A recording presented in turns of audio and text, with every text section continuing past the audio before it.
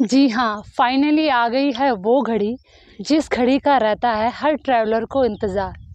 आज मैं आई हूँ उत्तराखंड के पंच केदारों में से एक और दुनिया के सबसे ऊँचे महादेव के मंदिर के दर्शन करने, और वो मंदिर है पावन तुंगनाथ।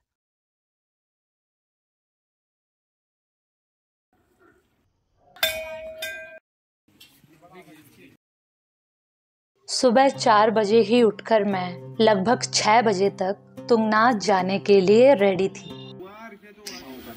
अभी जो है चाय और हल्का फुल्का नाश्ता करूँगी फिर जाऊँगी ट्रैक क्योंकि दोपहर की तेज धूप लगने से पहले ही मैं चार किलोमीटर का ट्रैक कर ऊपर पहुँच जाना चाहती थी। लगभग सवा छः बजे मैंने चोपता मार्केट से बड़े ही जोश के साथ ट्रैक स्टार्ट कर दिया। अब लेंगे हम यहाँ से स्टिक जो हमारा सहारा बनेंगे। नीचे मार्केट से ही आप ट्रैकिंग के शूज़ स्टिक आदि रेंट पर ले सकते हैं। तो यहाँ पे स्टार्टिंग पॉइंट से कुछ दूरी पे एक छोटा सा मंदिर है।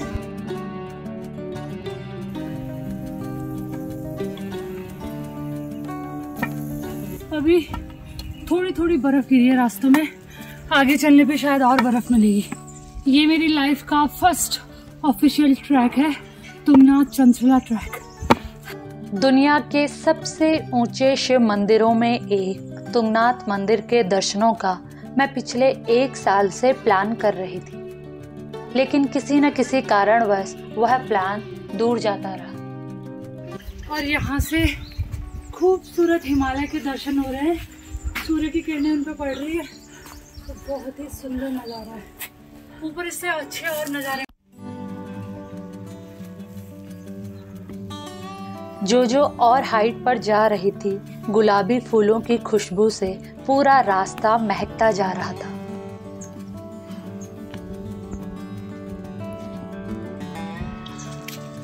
पुरास के फूलों से पूरा रास्ता महक रहा। है सुबह के टाइम पर ठंडी हवा भी काफ़ी तेज थी। तुंगनाथ उत्तराखंड राज्य के रुद्रप्रयाग ज़िले में स्थित एक पर्वत है और इसी पर्वत पर बसा है तुंगनाथ मंदिर। ये पंच केदारों में से सबसे ऊंचाई पर बना मंदिर है। इसकी हाइट लगभग 12,000 फुट है और ये मंदिर हज़ारों साल पुराना बताया जाता है। लगभग आधा किलोमीटर ही ऊपर चढ़ने के बाद अब थकान लगने लगी थी जो मैंने एक्सपेक्ट नहीं किया था। इसका रीज़न शायद पत्थरों के रास्तों की खड़ी चढ़ाई और सुबह सुबह हवा की बर्फीली ठंड थी। लेकिन ऊपर चढ़ने के साथ ही अब हिमालय के दर्शन भी काफ़ी क्लियर हो रहे थे।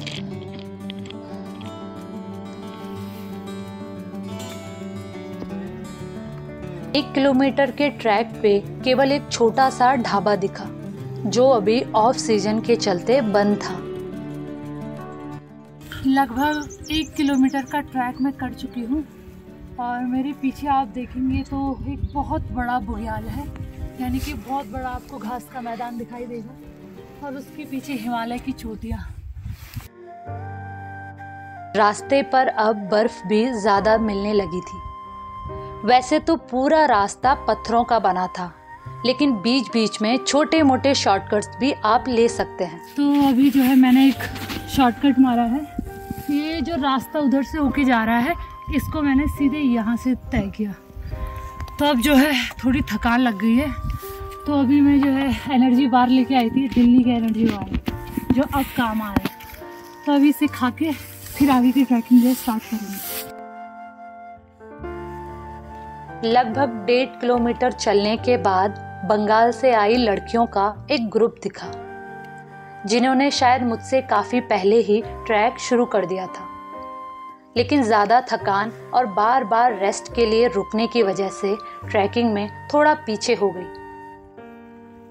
और भला जल्दी भी किस चीज़ की? ऐसे व्यूज़ के साथ दुनिया के सबसे ऊँचे महादेव मंदिर के दर्शन करने का मौका कहाँ बार बार मिलता है? अब हर तरफ़ बर्फ़ ही बर्फ़ दिख रही थी और धूप भी नज़दीक आने लगी थी। तभी रास्ते के ऊपर एक मोड़ दिखा और वो भी अपनी धुन में मग्न नज़र आ रहा था। या शायद क्या मालूम, महादेव की धुन में मग्न हो। लेफ़्ट राइट लेफ़्ट राइट की तीन किलोमीटर चढ़ाई के बाद इस ट्रैक में आता है वो मोड़ जो आपकी थकान को दूर कर देता है। आपका मन बस यहाँ पर बैठ के आसपास के माहौल को देखने का होता है। दो किलोमीटर का ट्रैक हो चुका है और अब यहाँ से जो है धूप भी स्टार्ट हो गई है। हर हर महादेव! ये वो मोमेंट था जिसने मेरे इस सीज़न में इस मंथ पर यहाँ आने के डिसीज़न को सही साबित कर दिया। क्योंकि अगर मैं यहाँ एक महीने बाद आती तो शायद चारों तरफ़ से घिरी हुई बर्फ़ नहीं देख पाती। अब यहाँ से आगे का रास्ता पूरा बर्फ़ से ढका हुआ था। तो अब तीन किलोमीटर का ट्रैक पूरा हो चुका है। एक किलोमीटर का और बचा है और अब यहाँ से मंदिर भी दिखने लगा है। धूप आने के कारण बर्फ़ थोड़ी थोड़ी पिघल गई थी जिसकी वजह से रास्ता स्लिपरी हो गया था। पत्थर का ट्रैक ना दिखने की वजह से लास्ट का आधा किलोमीटर का रास्ता आपको गैसी करना पड़ता है, क्योंकि इस मौसम में यहाँ पर काफ़ी बर्फ़ गिरी रहती है।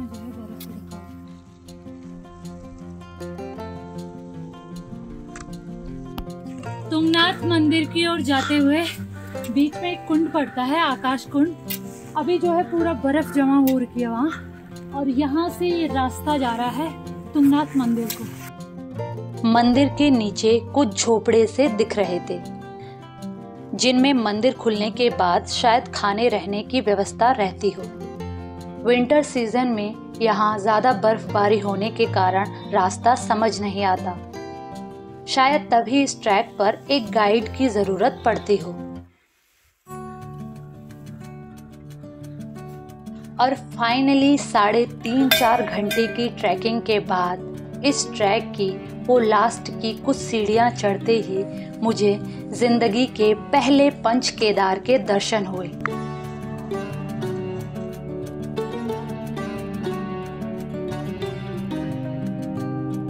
और मन में खुशी इतनी थी कि मैं ठंड की परवाह किए बिना ही वही मंदिर के पास पड़ी बर्फ़ में बैठ गई।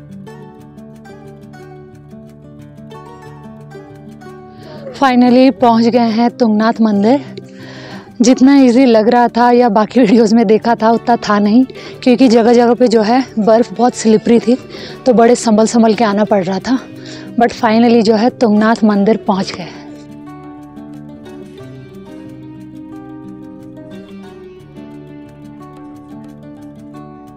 पूरे रास्ते खड़ी चढ़ाई थी, लेकिन मज़ा आ गया। व्यूज़ को देखते देखते ऊपर चलती गई और फाइनली जो है मंदिर पहुँच गई। हमारी कैमरा टीम के लिए यहाँ पहुँचना थोड़ा मुश्किल था। वो यहाँ आते आते जो है डेढ़ लीटर पानी, दो प्रोटीन बार और एक लिटिल हार्ड बिस्किट खा चुके हैं। और अभी जो है वो मांग रहे हैं कि पानी और चाहिए। बट अभी थोड़ा पानी बचा के रखना है क्योंकि नीचे जाते हुए भी थोड़ी थकान लगेगी। पंच केदारों में से तृतीय केदार नाम से प्रसिद्ध इस की स्थापना कैसे हुई, इसके पीछे भी एक रोचक कहानी है। कहा जाता है कि महाभारत के युद्ध के बाद पांडव अपनों को मारने के गिल्ट में काफ़ी परेशान थे और इसके बाद वो महर्षि व्यास के पास गए। तो महर्षि व्यास ने उन्हें कहा कि आपकी मदद सिर्फ़ भगवान शिव ही कर सकते हैं। इसके बाद वो भगवान शिव को मिलने हिमालय पहुँचे। लेकिन महाभारत के युद्ध के चलते भगवान शिव पांडवों से पहले से ही नाराज़ थे।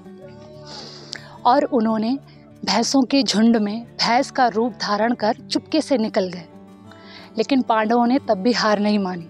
उन्होंने भगवान शिव का पीछा किया। और पांडवों को देखकर भगवान शिव ने अपने शरीर के पाँच हिस्से पाँच जगह पर छोड़े। और ये हिस्से जिन पाँच जगहों पर गिरे, वे बाद में पंच केदार कहलाए। और इस जगह यानी कि तुंगनाथ में बाहु यानी भगवान शिव के हाथ का हिस्सा है और जिसमें पांडवों ने बाद में मंदिर का निर्माण किया। और इस जगह तुंगनाथ में भगवान शिव के बाहु यानी हाथ का हिस्सा स्थापित है।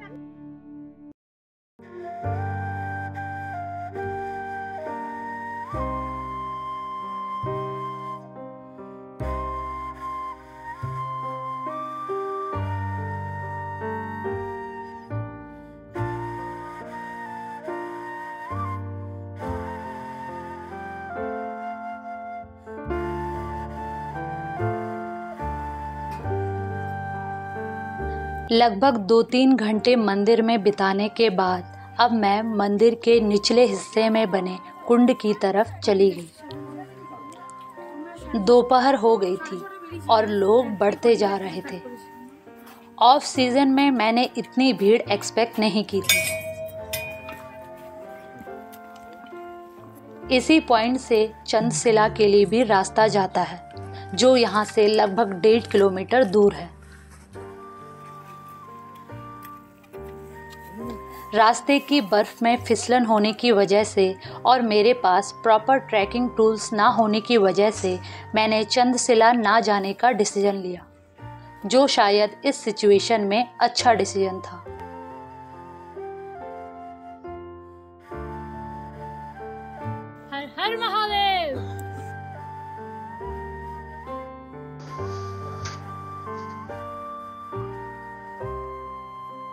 वापस चोपता जाने से पहले आकाश कुंड के सामने ही बैठ मैं, सामने खड़ी हिमालय की ऊँची पीक्स और पहाड़ों को जी भर के देख लेना चाहती थी।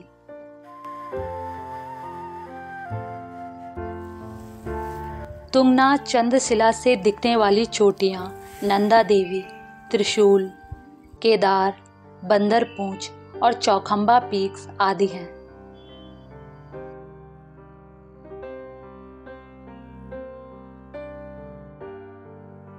तुंगनाथ की ये ट्रैक मेरी एक्सपेक्टेशन से कई ज़्यादा डिफ़िकल्ट रही। लेकिन यह अभी एक शुरुआत थी।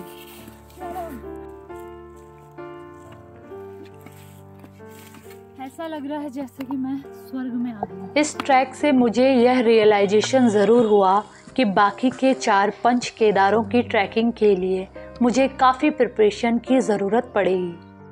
तो यहाँ पे जो है थोड़ा संभल के जाने की ज़रूरत है, क्योंकि जो बर्फ़ है, वो एकदम टाइट है और बहुत स्लिपरी है। ढाई किलोमीटर का ट्रैक हो चुका है और डेढ़ किलोमीटर का ट्रैक अभी बाकी है।